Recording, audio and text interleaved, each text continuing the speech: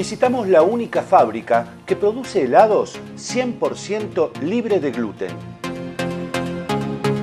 Eh, Deligut empezó por un sueño.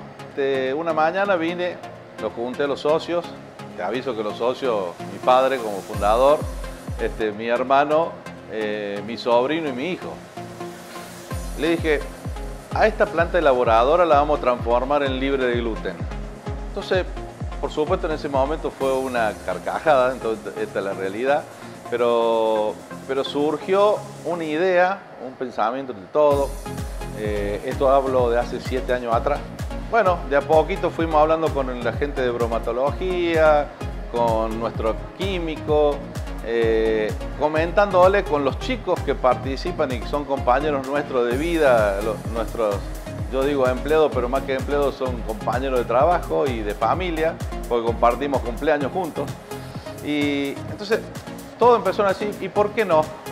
Veamos qué es lo que hay que hacer. Y así empezó.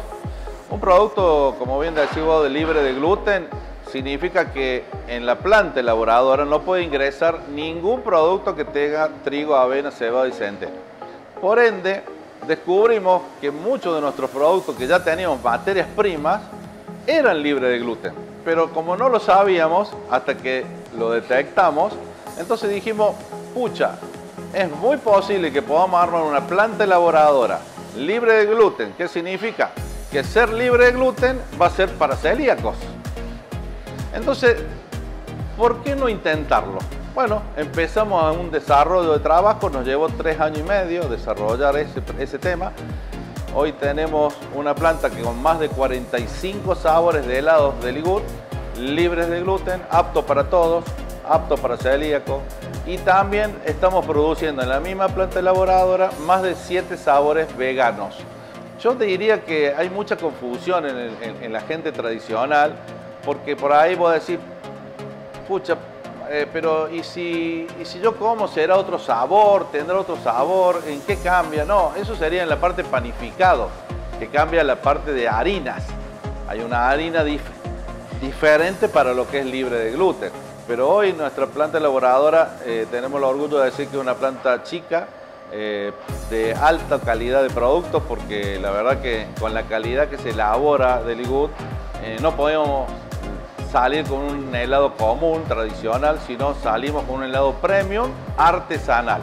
Cuando esto nació fue pensado en, poner algunas heladerías nosotros primero como empresa para conocer el negocio, para entenderlo, para aprender, para desarrollarlo. Hoy podemos decir que te, diría que es la primera franquicia la que tenemos en Paraná 465, inaugurada hace pocos, pocas semanas este, en Nueva Córdoba, que con Andrés y Ana Laura, que Andrés no, pero sí su mujer y sus dos hijas son celíacas, apostaron después de tomar decisión y pensar en dónde, eh, apostaron a Deligú porque creían y creyeron en el producto y en la calidad. Hoy están orgullosos y felices de estar acompañándonos y, y nosotros con ellos también. Eh, nosotros tenemos, decimos que tenemos cuatro modelos. Tenemos un corner que es para incluir una heladería dentro de un negocio que esté funcionando. Después tenés una isla, que puede ser en un shopping, en un lugar así cerrado, que puedes armarlo. Después tenés un local solamente heladería, que está más o menos rondando. Nosotros pedimos que sea de 50 metros para adelante, en metros cuadrados, cubiertos.